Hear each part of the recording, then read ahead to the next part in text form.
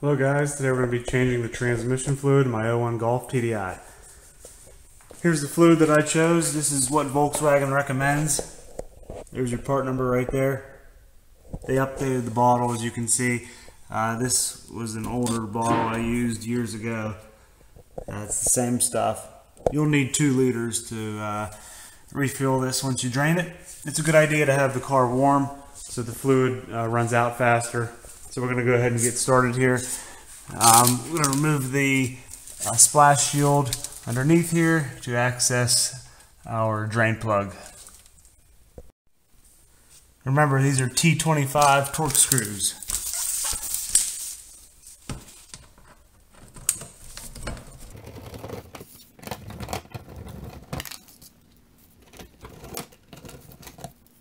Okay, our splash shield is now removed. Locate the drain plug, which is right here, 17 millimeter hex style head. And here's your fill plug over here.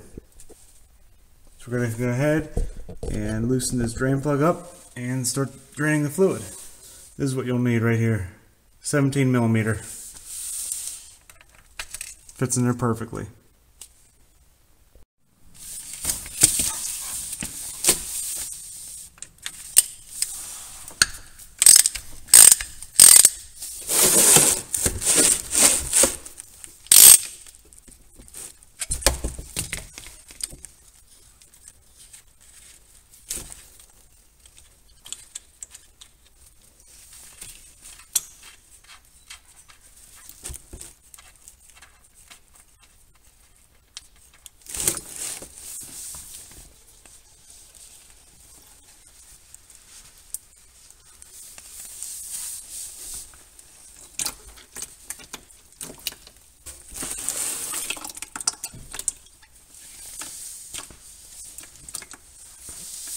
It's a good time to take a break and let that drain.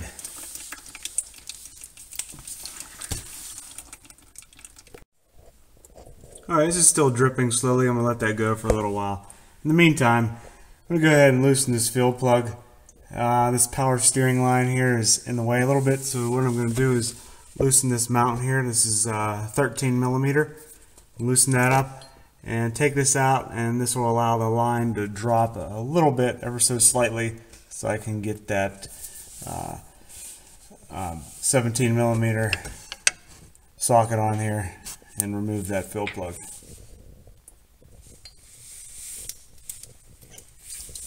Let's go ahead and remove this.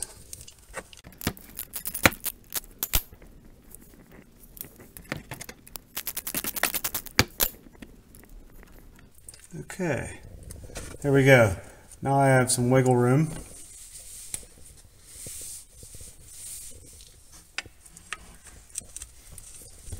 Perfect. Now I can get my ratchet on there and loosen that.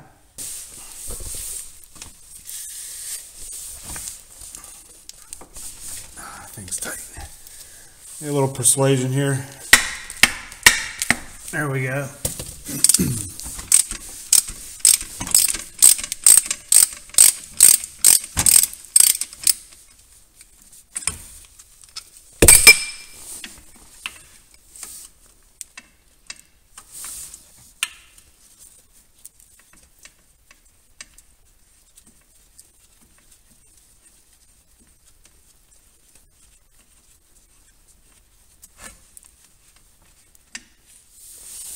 Okay, that's removed.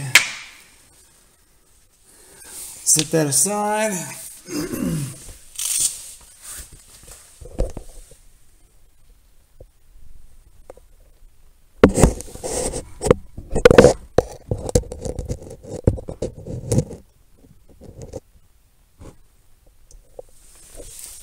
Okay, now what we need to do is fill that up with this fluid until it runs out of that hole. So I'm going to go ahead and throw the drain plug back in and we can start to refill it. All right, before we go ahead and refill this transmission fluid, make sure the vehicle is level so you can get the correct uh, fluid level in the tranny. I should have told you this from the beginning, but uh, yeah, make sure it's level.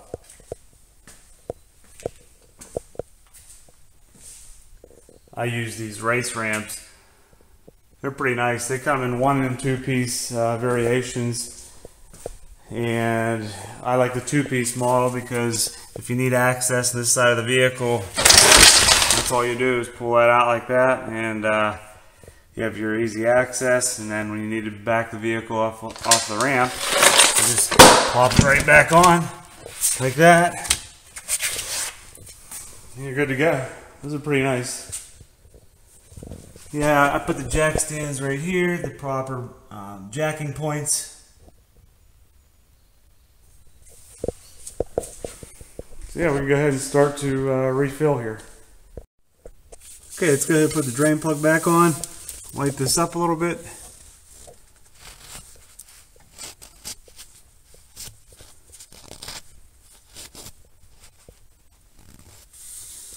Get our drain plug.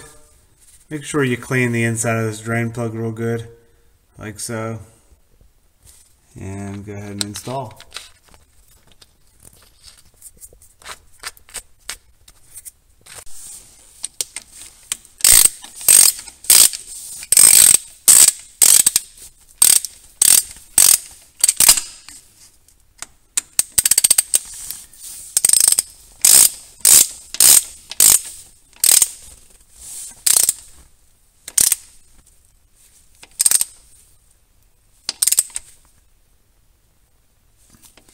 Okay, that's tight. Now I can go ahead and fill it up. I have my little hose here I'm going to use. I had this laying around. I'm going to fill it from the top. There's a lot of ways you can do this, guys. You can pump it in if you have a transfer pump. I'm going to fill it from the top with a funnel. It's just what I have. So this hose going up here. And there's a funnel up there I'll show you on the top side.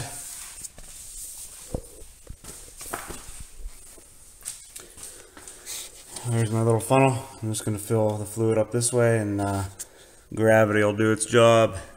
I'll put my oil pan underneath there because it'll start to run out and then I'll stop, pull the hose out, put the fill plug back in and that's it.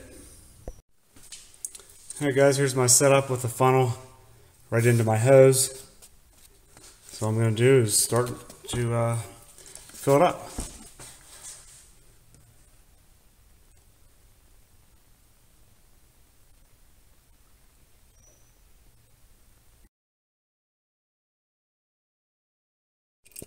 Okay guys, you can see it's running out of the fill hole, so I'm to go ahead, pull my hose out, and put the plug back in.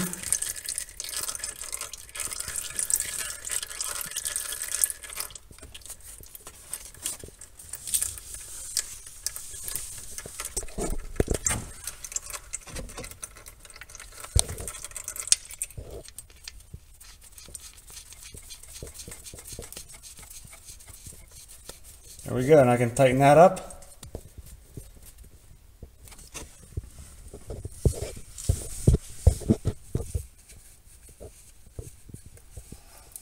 Wipe the mess up a little bit here. Wasn't too bad. This is a pretty easy job, guys. Not too bad at all. That's why I like these old cars. Everything's pretty simple for the most part.